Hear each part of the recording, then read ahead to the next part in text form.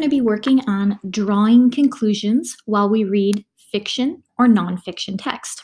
Drawing conclusions is when we use what we read in the text and we combine it with what we already know in order to figure out what characters might say or do.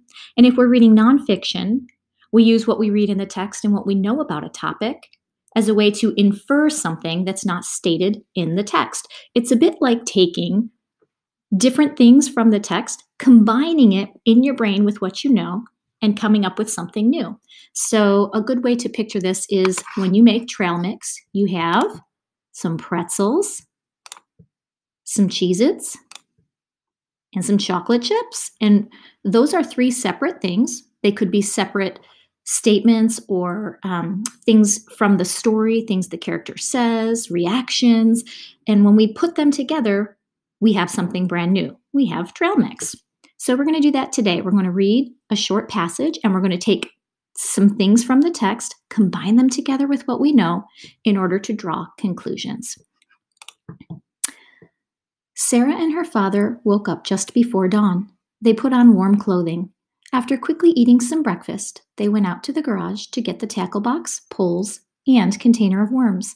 They got into the car and drove to their lucky spot. Soon they were sitting in a boat enjoying the crisp morning breeze and the colorful trees along the shore. Sarah skillfully cast her line, and it was not long before she got her first bite. Father said, Guess what we are going to have for supper tonight? All right, so we can draw some conclusions about Sarah, not because the author came right out and told us something about her, but we're going to take some of the things we read and what we know about this um, topic in order to draw our conclusion about her personality or something about her character. Sarah can best be described as scared of the water, mad about getting up early, skilled at fishing, or new at fishing. So I know one of the things that I read here is that Sarah skillfully cast her line. And what I know about this already is that when you're casting a line, you're out fishing. And if somebody is doing something skillfully or with skill, they're probably pretty good at it. So that makes me think my answer is, choice is going to be C. Are there any other clues within this passage that would help me come to that conclusion? It says they drove to their lucky spot. What I know is that if somebody drives to a lucky spot, it's likely that they have been there many, many times before. And if she has gone to this lucky spot to cast her line or fish many times, she's probably pretty good at it. I also saw that she had to go to the garage and get a tackle box, poles, and a container of worms. Now, the author never comes out and says Sarah went fishing, but I know that if she has her own tackle box, poles, and container of worms, that she's probably somebody that fishes quite often. And the more you do something, the better you get at it. So the best choice here would be skilled at fishing. I drew that conclusion because I know tackle box poles, container of worms means they're fishing. Somebody who casts a line is fishing. Driving to a lucky spot or being skillful, that tells me she probably does this frequently.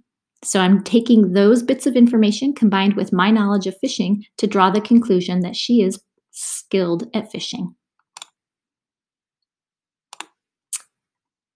Okay, same short passage. Where does this story most likely take place? So we can draw conclusions about the setting. The author does not come right out and tell us it was a warm summer day. We have to take clues and what we know about that time of year from the clues in order to draw a conclusion.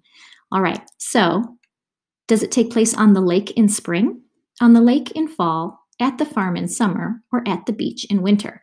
Well, first thing that jumped out at me as I was reading is that they put on warm clothing, and that to me screams colder weather, so I can probably rule out summer.